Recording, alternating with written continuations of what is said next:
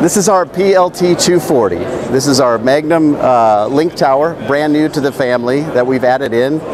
LED light bulbs. What's also unique about this machine is there is no engine. It is emissions free.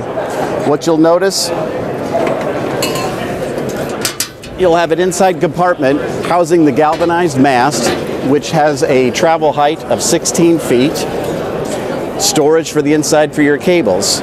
Since there is no engine, you're wondering how are you going to power this? It is plugged in to a 15 amp or a 20 amp outlet, common in most houses and commercial buildings. Running a single unit just requires one 15 amp cord plugged in. The beauty of this, the link is what we call it, the link tower. If you want to run two of them, you're going to run a 20 amp outlet and a plug in here with your cord. Hook the second cord in here daisy chain it over, run your cables through of a distance of about 400 feet away per unit.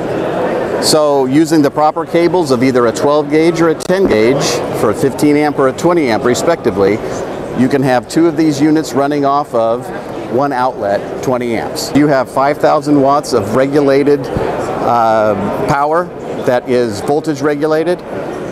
You can run four of these link towers off of one of our MLT6 LED light towers. So basically you are running five light towers off of one unit. The Link Tower features portability into a normal standard doorway height of six foot eight. The mast goes up to 16 and a half feet, galvanized mast. You can also get it through a standard doorway, much like you would use like a wheelbarrow transferring it. Rolls around, back and forth, easy to set up. We put the outriggers out on front, so to give you that tipping point, you get the feel and confidence of not flipping it over.